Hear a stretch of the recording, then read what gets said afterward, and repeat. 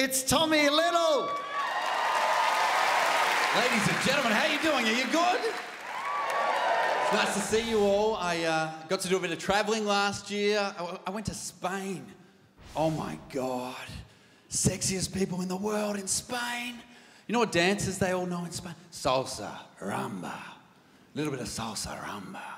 Luckily, I was equipped with the one dance we all learnt growing up here. Bit of fucking Nutbush. There you go.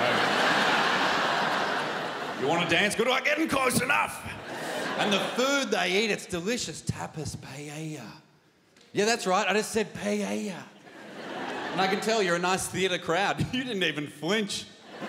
You're like, that's probably the correct pronunciation. Say that at a footy club, and they're like, You mean paella, dickhead? It's tapas and paella. geez, tapas sounds violent, doesn't it?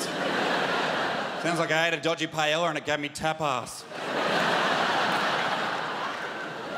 Most exotic treat I got growing up here was when my mum stuck her head into my room one day before school and she said, Tomo, got a bit of a treat for your lunchbox.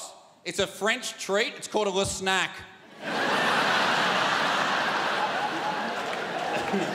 I shouldn't give my mum too much grief. I did only find out one year ago, at the ripe old age of 30, that the Ribena berry, not a real berry. On the language, oh my gosh. The language, like if we meet someone, you say, hey, how you going? And that's fine, right? But it's not sexy. I learned one sentence in Spanish, and it's me parece que tengo candrias.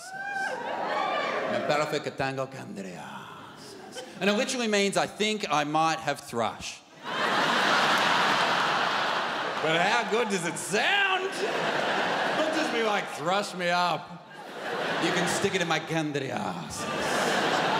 Maybe it's not even the language, maybe it's just the accent. That's how a doctor should give you bad news.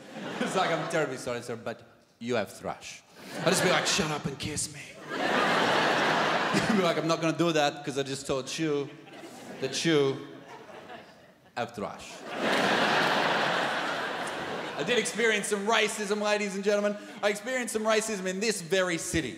Went to a Chinese restaurant with two of my best friends. We went in, sat down, waitress comes straight over to us, boom, boom, boom.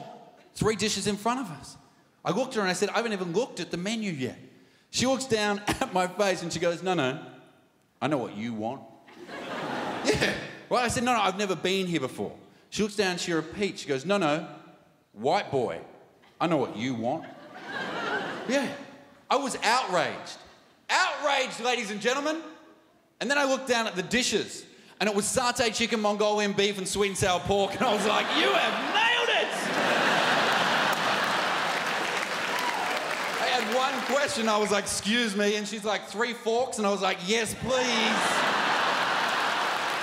Thanks, ladies and gentlemen. Have a great night. Take care. Cheers.